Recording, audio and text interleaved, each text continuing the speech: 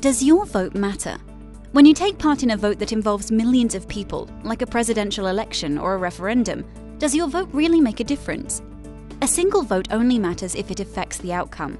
For example, if everyone else votes and one side is up by 300 votes, then it doesn't matter which way you vote, or if you vote at all, because your vote won't affect the outcome.